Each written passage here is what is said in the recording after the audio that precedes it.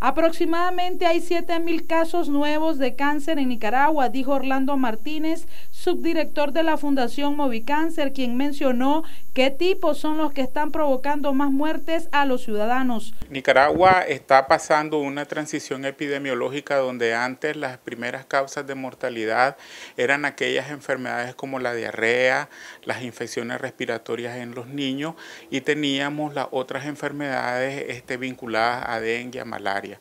Nicaragua ha hecho un enorme desafío para poder controlar estos problemas epidemiológicos, sin embargo, por eh, el estilo de vida, porque estamos viviendo más, eh, y además de eso tenemos una población que está envejeciendo rápidamente, ya vamos dentro de cinco años a pasar el bono demográfico, eso significa que vamos a tener más cáncer.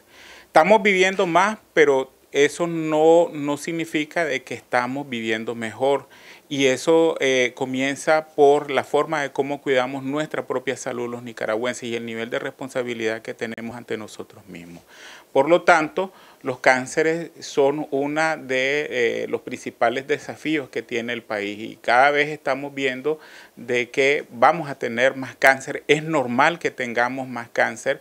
Hace algunos años atrás, si usted me pregunta, hace cuatro años, nosotros teníamos aproximadamente entre 3.000 y 4.000 casos de nuevos cánceres por año.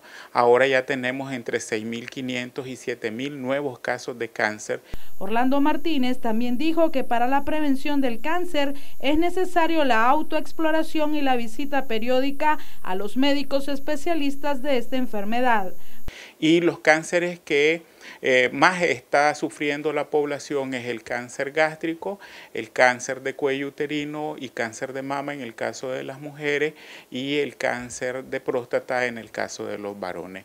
Por lo tanto, tenemos el desafío de cada vez más detectar de forma temprana estos cánceres que por supuesto van a significar menos sufrimientos para quien lo padece y su familia, pero también menos carga económica para el sistema de salud, porque hay que recordar de que se han venido dando pasos importantes, pero todavía nos queda mucho por hacer. El cáncer de cuello uterino es el cáncer que más afecta a la mujer nicaragüense en la edad productiva. Y sabemos que este tipo de cáncer es un cáncer discapacitante, pero también es, la primera causa de mortalidad en la mujer. Hay que recordar de que en Nicaragua la mujer tiene un papel muy importante en la vida económica y en el desarrollo de la familia dentro de nuestra sociedad.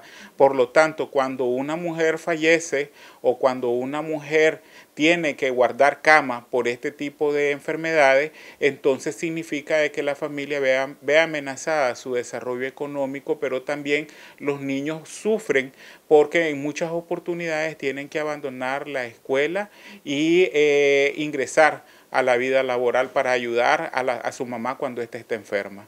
Para Noticias 12, Castalia Zapata.